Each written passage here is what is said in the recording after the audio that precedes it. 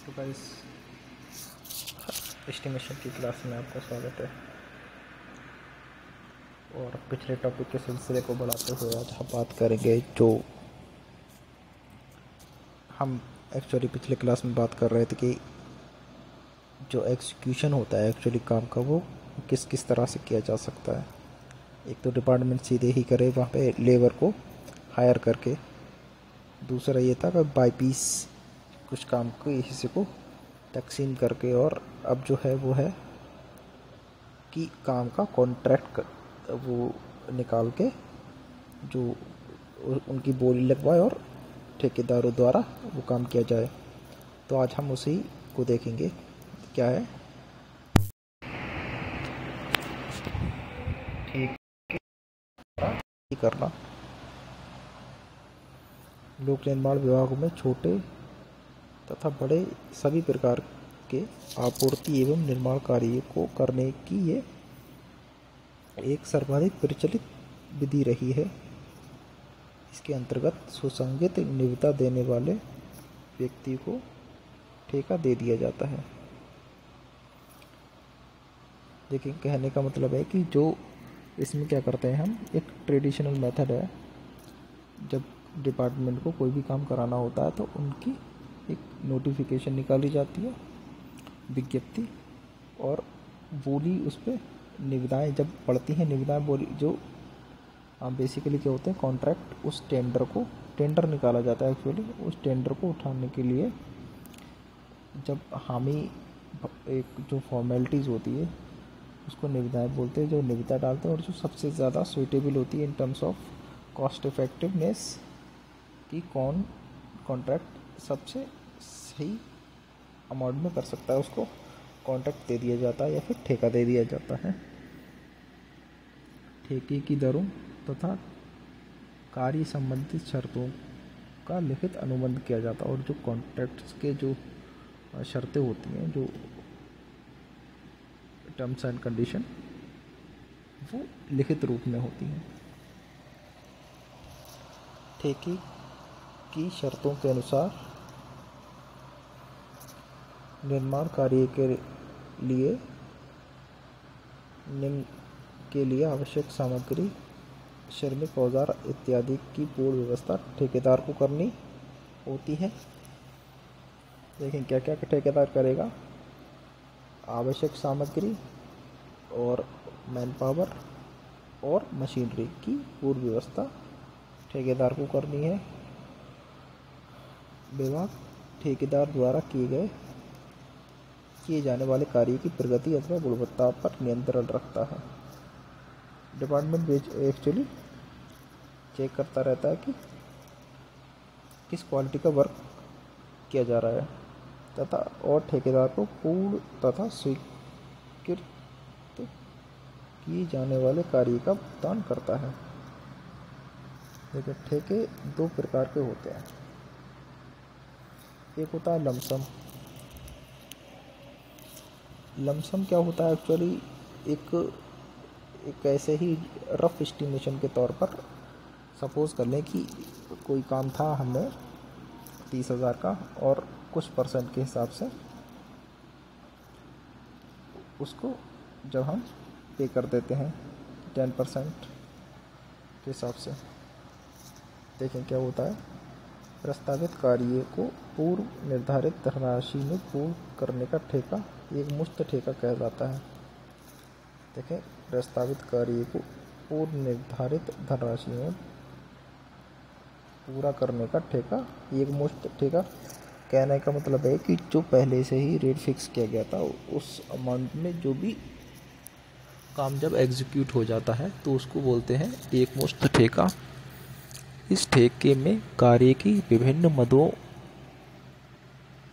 की विभिन्न इस ठेके में कार्य के विभिन्न मदों की सूची तथा उनके परिवार नहीं दिए जाते।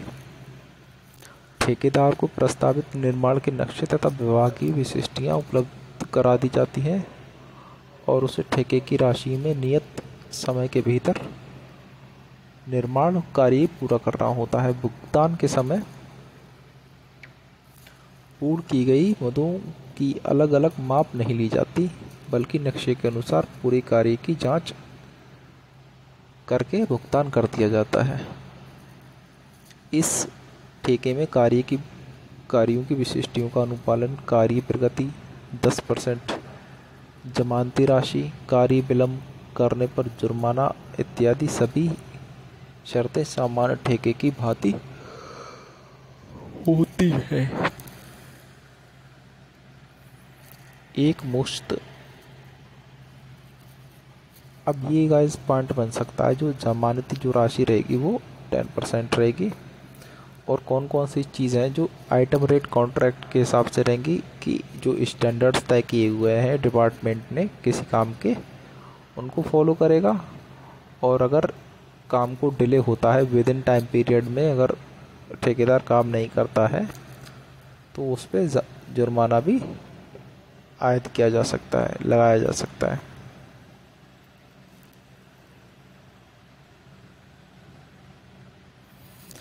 एक मुश्त ठेके में सबसे बड़ा दोष ये है कि आवश्यक होने पर भी निर्माण कार्य में संशोधन परिवर्तित नहीं किया जा सकता। और मधु की संख्या तथा परिमाण जो रखना पड़ता है। यदि ठेकेदार किसी मद को किसी कारण पूरा नहीं करता है तो बिल से कटौती करने में दिक्कत आती है और बड़े सवाल विवाद खड़े होते हैं। क्योंकि ये गाइस ये मदों के ऊपर नहीं होता, ये पूरा है जो काम होता है, उसके हिसाब से दिया जाता है, इसलिए ये इशू आते हैं इसमें। अब क्या है? अब नेक्स्ट है item rate contract item rate contract क्या होगा? जैसे कि आप नाम से ही जान रहे हैं, जो भी मद होते हैं, उसके हिसाब से जैसे मृदा का, खुदाई कार्य का ये रेट रहेगा और जो सुपर स्ट्रक्चर का काम है वॉल का, वो ये ऐसे मद के हिसाब से कहने का मतलब है। इस ठेके में कार्य की मदों तथा प्रत्येक मद की भुगतान दर का ठेका किया जाता है।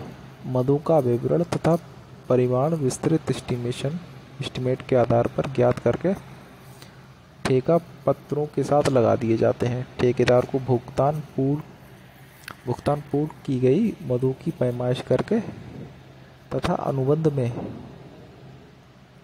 दर्शाए गए रेट पर किया जाता है। कहने का मतलब है कि जब इसमें हम जो ठेका देते हैं वो रेट उसकी आइटम के हिसाब से देते हैं और जब हम, जब काम जब पूरा हो जाता है तो हम उसी आइटम का, उसी मत का डायमेंशन निकाल लेते हैं वॉल्यूम निकाल लेते हैं।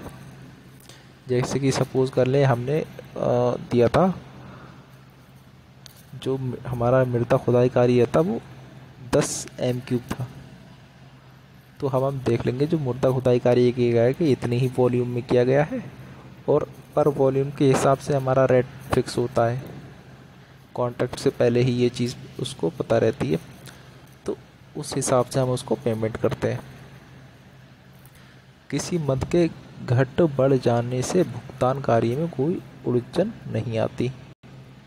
ठेका अनुबंध में विभिन्न मदों के नाम, परिमाण, दरें, राशि तथा ठेक ठेके की? कुल राशि। विस्तृत नक्शे कार्य की विशिष्टियाँ।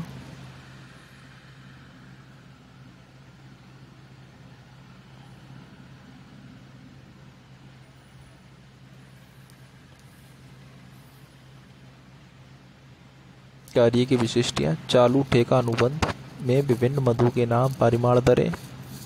राशि एवं ठेके की कुल राशि, विस्तृत नक्शे, कार्य की विशिष्टियाँ, चालू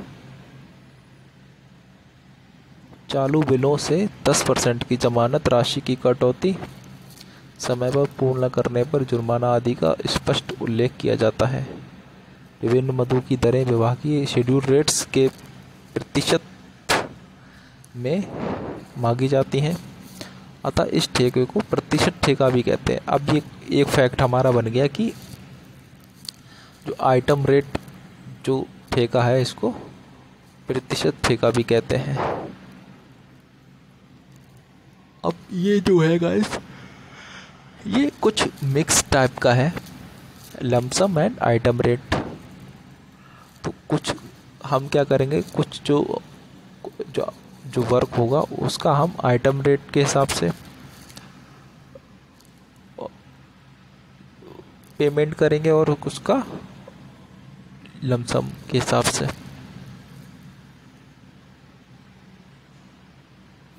अब जो है हमारा वो है कॉन्ट्रैक्ट कि कॉन्ट्रैक्ट क्या होता है? कॉन्ट्रैक्ट क्या होता है? कॉन्ट्रैक्टर क्या होता है? किस तरह से? डॉक्यूमेंटेशन कॉन्ट्रैक्ट दिया जाता है, ये सब सारी बातें। टेंडर किस तरह से निकाला जाता है?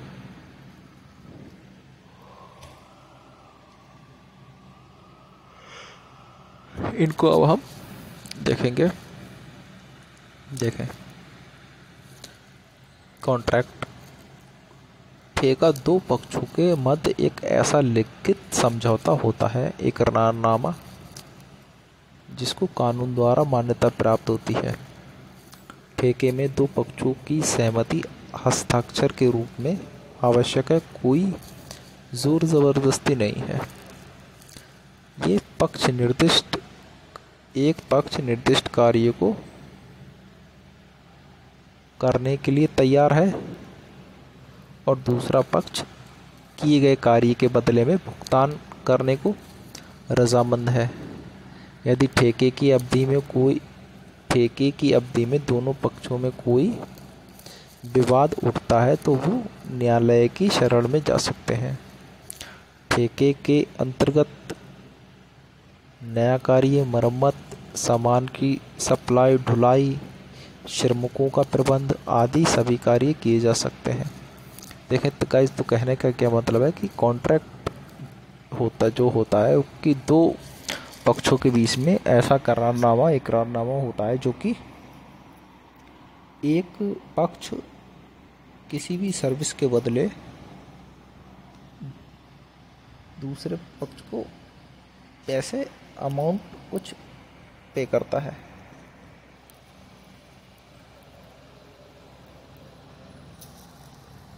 और ये अलग अलग चीज़ों का हो सकता है। लेबर का भी हो सकता है, लेबर कॉन्ट्रैक्टर भी हो सकता है, मेंटेनेंस का भी हो सकता है, और जो माल की जो सप्लाई कर रहे हैं, इनका भी हो सकता है। अब देखें कॉन्ट्रैक्टर। कॉन्ट्रैक्टर क्या होगा? ये बेसिकली एक, अभी हम जो, जैसे कि हम दो पक्षों की बात कर रहे थे तो इनमें ये, वो वाला पक्ष है जो किसी काम को करने के बदले जो सब्जेक्टेड जो दूसरा पक्ष है, उससे अमाउंट पाता है। तो देखो, ऐसे व्यक्ति, फर्म, पार्टी, जो किसी समझौते के अंतर्गत निर्माण कार्य अथवा सामान की आपूर्ति, ढुलाई आदि करता है, ठेकेदार कहलाता है। ठेकेदार, ठेके के अंतर्गत किसी, किए गए काम का भुगतान पाने का हकदार है। कोई व्यक्ति जो वयस्क है, इस देश का नागरिक है अच्छा किरदार रखता है।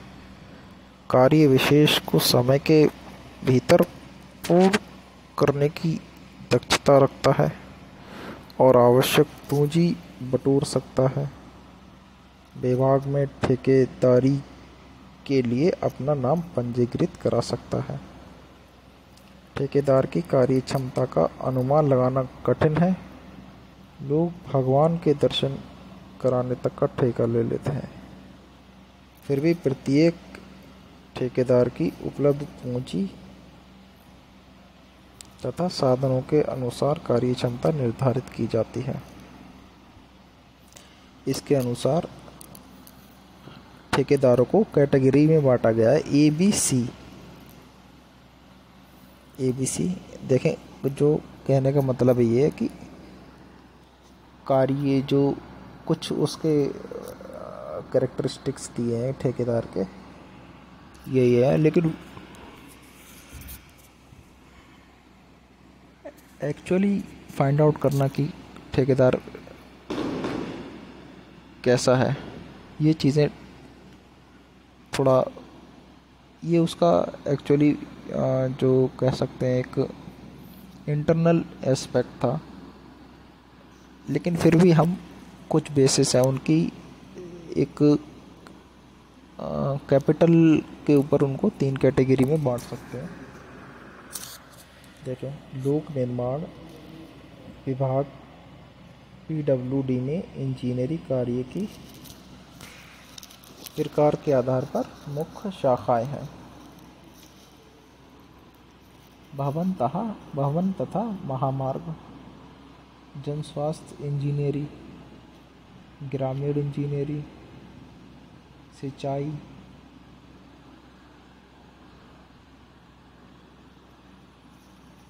क्योंकि यहाँ पे कुछ काम दर्शाए गए हैं जिन जो पी डब्ल्यू डी जो डिपार्टमेंट है इंजीनियरिंग डिपार्टमेंट इसके अंतर्गत आ जाते, किए जाते हैं।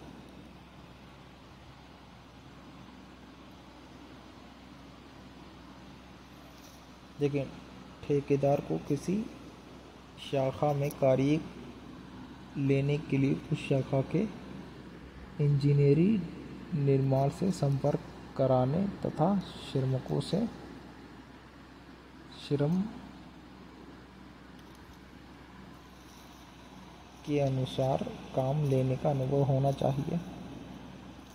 विद्युत तथा सैनिटरी कार्यों के हस्तनन के लिए सरकार के लाइसेंस प्राप्त भी होना चाहिए। भवन निर्माण कार्यों के लिए ठेकेदार का सिविल इंजीनियरिंग में स्नातक डिप्लोमा होना ज़रूरी है अथवा उसके स्टाफ कर्मचारियों में प्रशिक्षित इंजीनियरों का होना ज़रूरी है। ठेकेदार के पास गत वर्षों का आयकर भुगतान भी होना चाहिए। ये गैस ये कुछ कुछ शर्तें हैं जो बताई गई हैं। कोई, अगर भी कोई भी ठेकेदार टेंडर के लिए बोली लगाना चाहता है तो कौन कौन सी चीज़ें उसके पास होनी चाहिए। जैसे कि उसको एक्सपीरियंस होना चाहिए उस काम का, और टेक्निकल स्किल भी होना चाहिए, और जो ठेकेदार के पिछले सालों का जो इनकम टैक्स की डिटेल भी होनी चाहिए।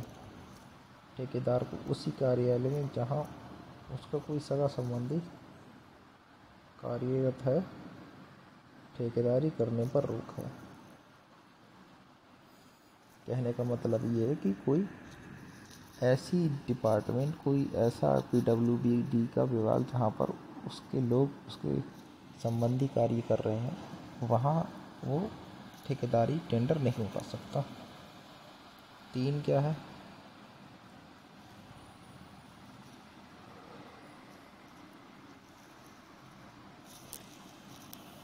तीसरा है गाइस टेंडर टेंडर क्या होता है?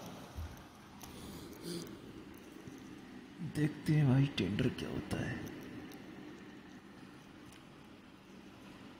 ये किसी व्यक्ति अथवा पार्टी द्वारा लिखित रूप से पेश किया गया प्रस्ताव है, जिसमें जिसमें पार्टी किसी सामान सप्लाई निर्माण कार्य को निश्चित दरों पर निर्धारित अवधि में पूर्ण करने का इकरार करती है।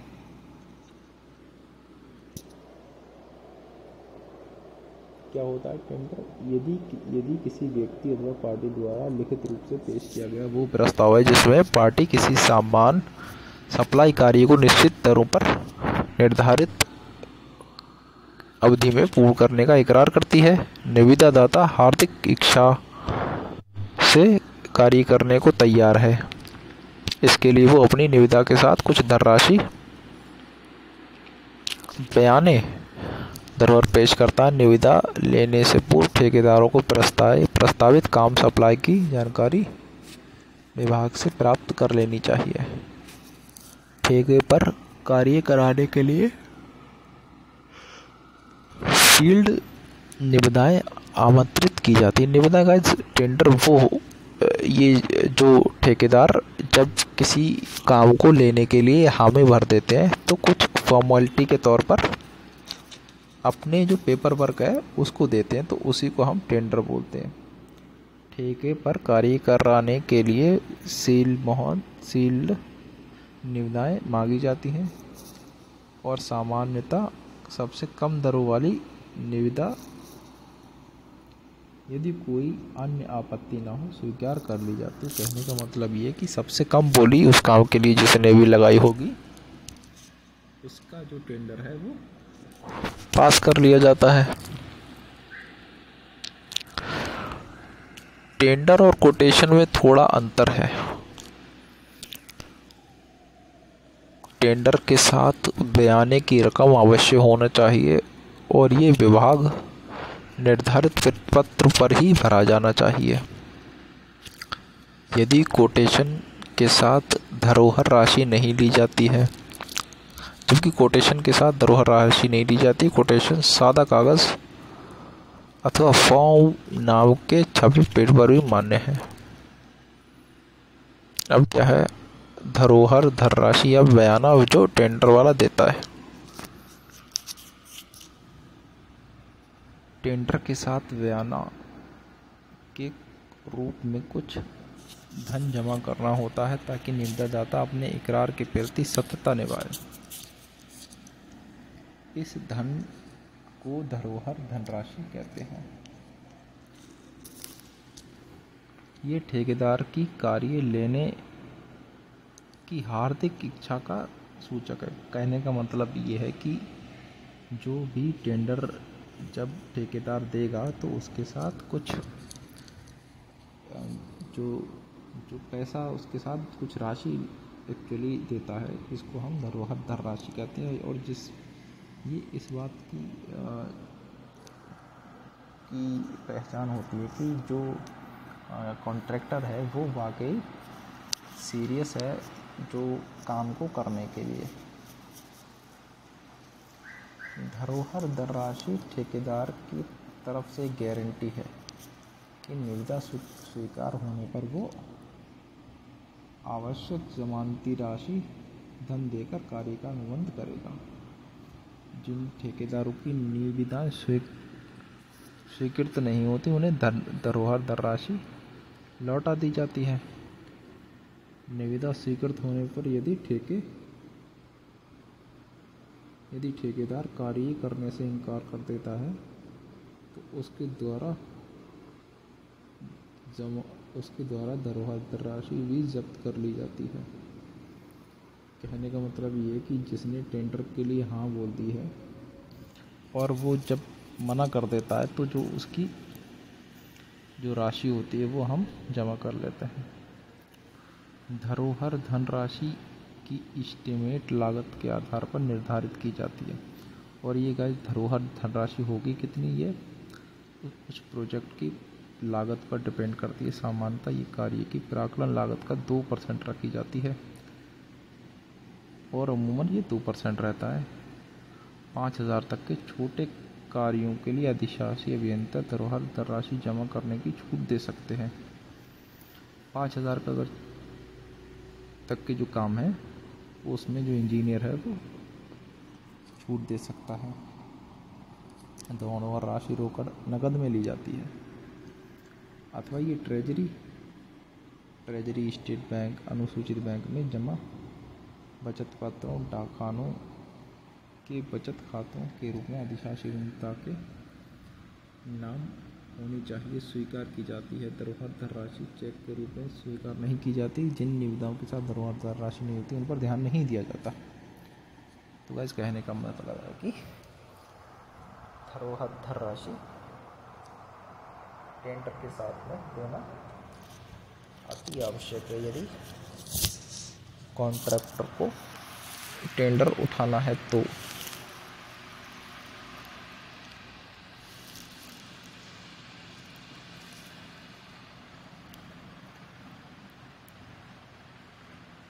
अब जो गाइज़ अगला जो हमारा टॉपिक रहेगा वो